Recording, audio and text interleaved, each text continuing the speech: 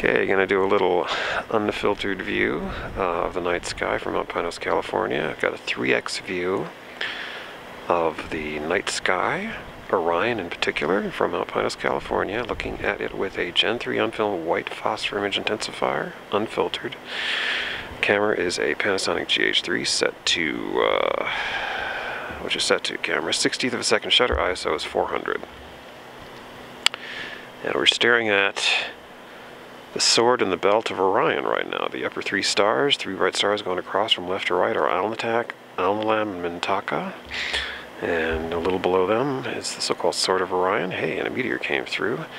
And in that sword is the Orion Nebula, which you can kind of make out there. I'm going to up my shutter speed one tick, if I can. That's an 80th of a second shutter. Uh, okay, we'll stay at a 60th. So that's the Orion Nebula M42 at 3 power, 3x magnification. Looks pretty good. Nice pristine sky tonight. If we come up to that leftmost star Alnitak, you can make out just to the upper left of it a little faint fuzzy thing. That would be the Flame Nebula. Don't know what the IC or NGC number of that is, but it's the flame. It's pretty teeny tiny here. I'm going to try this again at 6x in a little bit.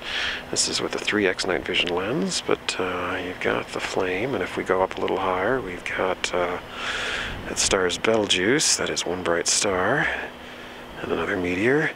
And if I come down, I'll go back this way to the belt and then swing over and lower into, if I can get to it, Canis Major. Right there is the star Sirius, the dog star. Come down a little, we've got the star cluster M41, open star cluster. Right there in the center of the field. And if I swing off to the left and up a little, a couple more star clusters. I believe there's a bright one to the right, don't know what that's called, and then there's a really dim thing to the left, which is probably an open star cluster, I would suspect. I'll have to look that up later. But uh, a couple star clusters in hmm, maybe Canis Major or Monoceros, not sure which constellation. Go back to Orion again if we can find it. Where are you? Right there, M42. And the belt, and we'll swing over to Taurus if I can find Taurus. Ooh, another meteor. They're all over the place tonight. Looking for that. There it is, the V shape in Taurus. Right there, the bright star on the left. Top of the V, and the left side of the V is uh, Aldebaran, Alpha Taurus. Thing kind of goes uh, from south to north at this point. Uh, and then I'm going to see if I can catch Pleiades. There we go, right there. The Seven Sisters. See, one, two, three, four, five. I don't know, a lot of stars. I don't know what the Seven Sisters are exactly, but uh, can't catch the nebulosity around those. They do not have the sensitivity for that with this uh, photocathode on a Gen 3.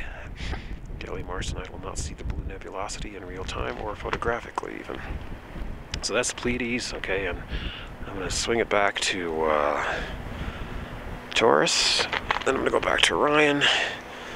If I can find Orion right there, and uh, that's going to be it. So there you have some interesting stuff. Night sky, 3x magnification, Gen 3 white phosphor, unfilmed image intensifier, 3x view.